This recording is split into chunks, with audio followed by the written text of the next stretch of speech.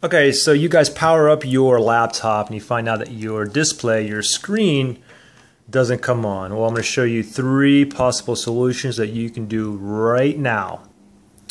So why don't we go ahead and get started. The first thing you guys want to do, and this is going to, this first step is going to help 50% of you guys, is you need to drain the excess static out of your computer. And how do you do that? First thing is first, what you want to do is you want to flip your computer over and you're going to have a you want to pop out your battery. So go ahead and pop out your battery and flip your laptop back over. Your AC adapter, you want to make sure that it is unplugged. And we call this first method, we call it the 31-2. Basically, it's, uh, you, it's 30 second, 1 minute, and then 2 minute. So first thing you try is the to drain all the excess static. And the thing is, like most of you guys are doing this, but you're not draining it 100%. So you need to drain it 100% for it for, for your actual display to power back up. So first thing is everything, if the battery's out, the AC adapter's unplugged, and you hold this down, the power button here, you hold it for 30 seconds. Hold it down for 30 seconds. Once 30 seconds is up, you can go ahead and pop in the AC adapter and then push on the power, see if the display comes on. If it doesn't, now you want to go with the one minute. Again, unplug the AC adapter, AC cord, hold down the power button for one minute. Once one minute is up, plug the AC adapter back in and push power.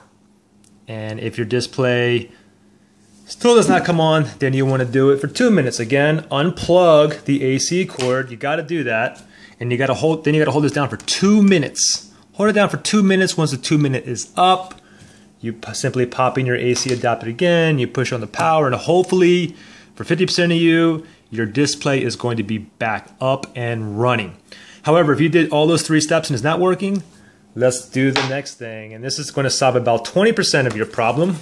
Basically, the issue is going to rely on you guys, and I don't have the actual tool to take this out, but it's your RAM stick. One of your one of your RAM sticks is bad. So we simply need to do is pop open his back, and you, will you'll see your RAM slots. You can easily pull, pull them out. What you want to do is you want to leave one in, pull one out, leave the other one in there, and take the one out and put it in the other slot. And you want to power up your computer. That doesn't work, shut it off, then switch RAM sticks, put in a different slot vice versa, keep playing with that. And if none of those work, hopefully you have another RAM stick laying around because it's possible that both your RAM sticks could have went faulty at the same time as well. Like I said, that'll, that'll help 20% of you. Now for the third and the last step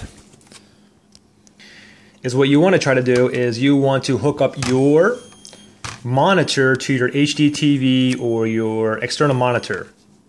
Basically what you can do is this. For instance, like you can see here I have an HDMI port so basically I can hook this uh, laptop to a monitor that has a HDMI port or my HD TV. Also with some of your laptops you may if you have like a VGA port you'll be able to hook up that that uh, that onto a VGA monitor. Now the thing is, a lot of your computers will not sync right away, so what you have to do is push one of the toggle keys. For example, this computer here, you would push like F10. Uh, for you guys, it may be the F11 or the F3, but it depends on your computer model. So look up your computer model if your if your computer doesn't sync right away to the external device, and see what toggle key you guys have to use.